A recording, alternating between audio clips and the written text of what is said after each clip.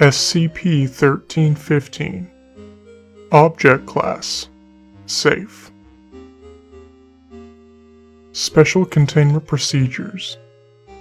SCP-1315 is kept in secure storage at Site-15. It is stored within a small safe on premises, the code to which can be requested via a written application from Dr as SCP-1315 will not exhibit any anomalous effects unless directly interacted with. No further containment is necessary. Description Item SCP-1315 is what appears to be a standard 5.5 by 4.1 inch video game cartridge for use with the North American version of the Nintendo Entertainment System console, also known as the NES. The cartridge is manufactured out of gray plastic and is unlabeled. According to an operation manual packaged with the cartridge, the game is entitled Professor Ghoul's Terrifying Horror Challenge and is accompanied by a subtitle reading A Realistic, High Stakes Action Game for 1 to 2 Players. When the cartridge is used in a Nintendo Entertainment System, a black screen appears containing nothing except a simple menu with the option for a single player or a two player mode. Pressing the start button on either of the options advances to another screen, where the game asks to confirm whether the persons currently holding the game controller or controllers are those who wish to play the game. If the No option is selected, the game will return to the Mode Select menu.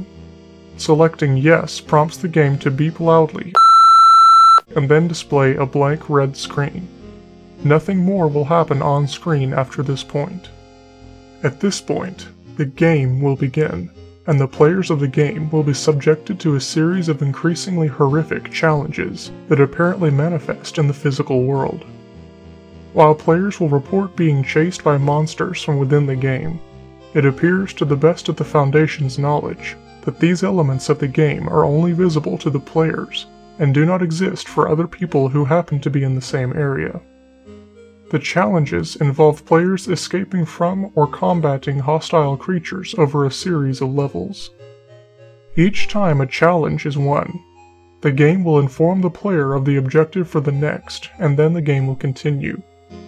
The game's manual claims the fun never ends, and does not specify how many challenges must be completed to win the game, if it can be won though D-Class personnel who have played the game have thus far managed to reach level 33.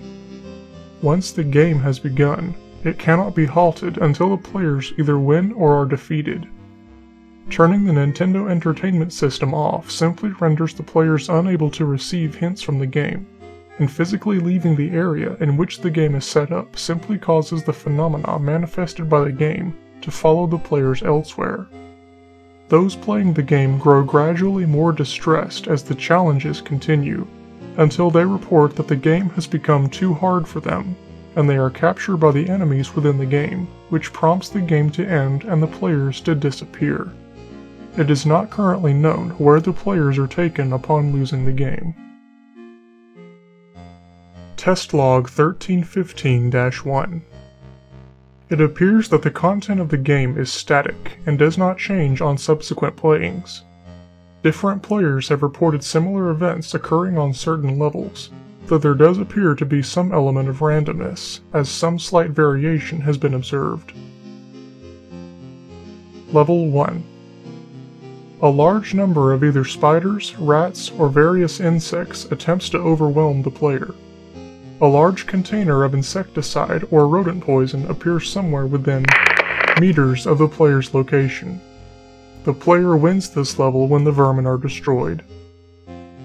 Level 3 A group of 2 to 6 wild animals made up of any composition of bears, wolves, and large cats attempts to eat the player.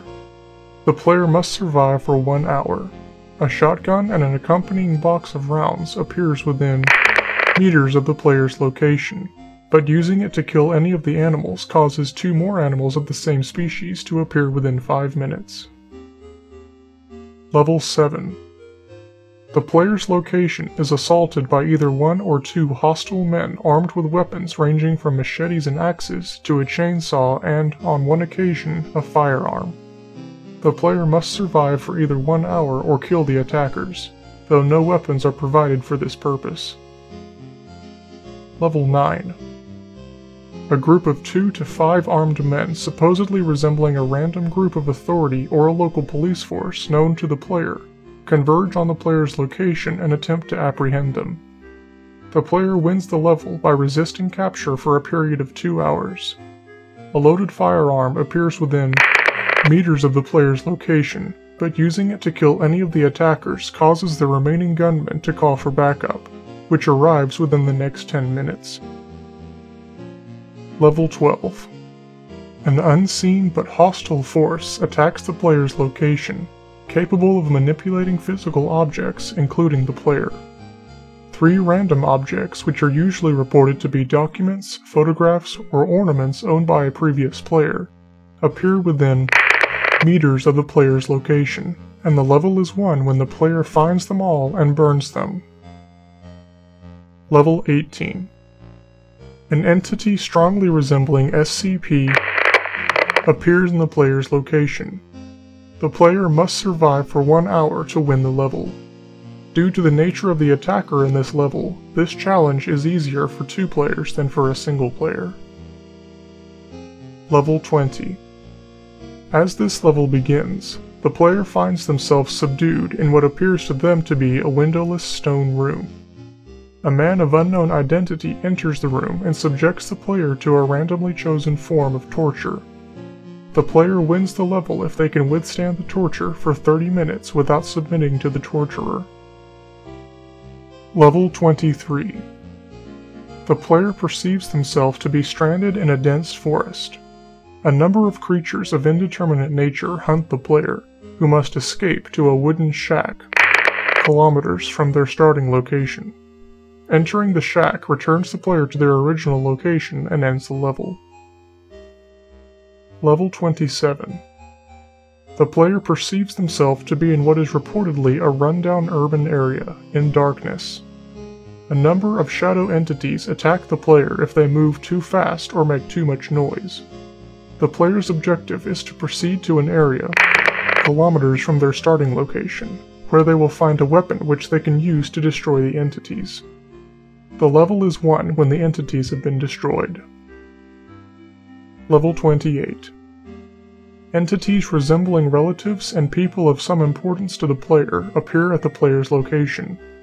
All entities are subdued in a manner that they pose no danger to the player, the player wins the level by killing the entities with a supplied weapon.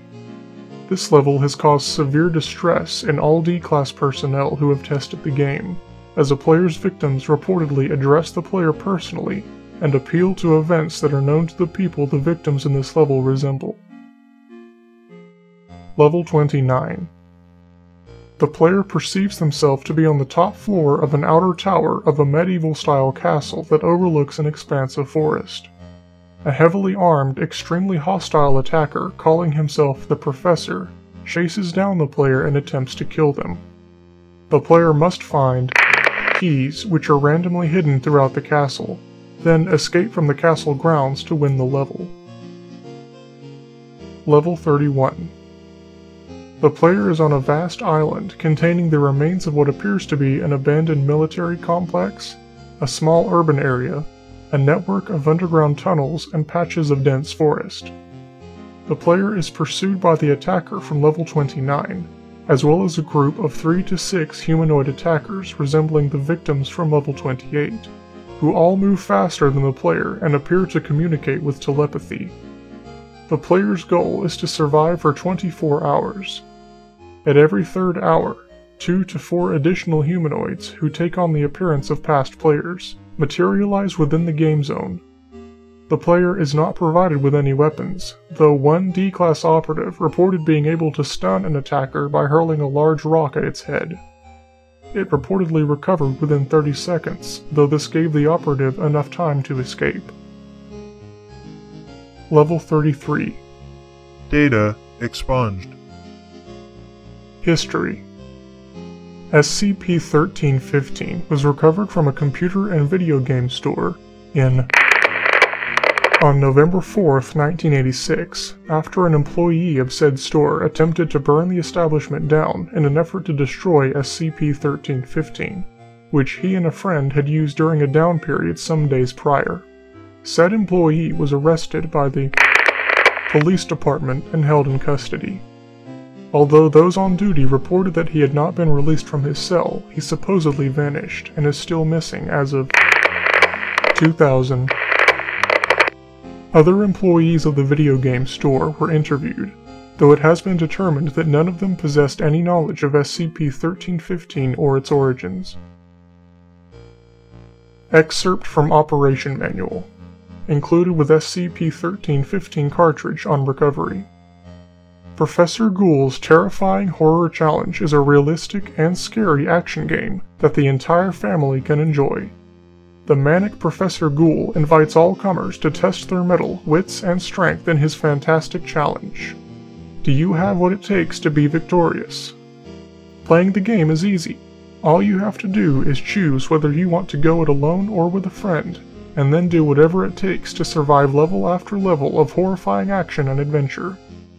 Once you've started the game, you can play it anywhere. Home, in town, at school, wherever Professor Ghoul's spooky creations find you. The fun never ends. Be careful though. Professor Ghoul is a man of honor, and once you've decided to take on the challenge, you can't stop until someone emerges the victor. Manage to get through with all your body parts intact, and you'll be the coolest kid in town. Lose, however, and you're at the mercy of Professor Ghoul. There are no extra lives in Professor Ghoul's terrifying horror challenge, and no second chances. Get game over, and you're done.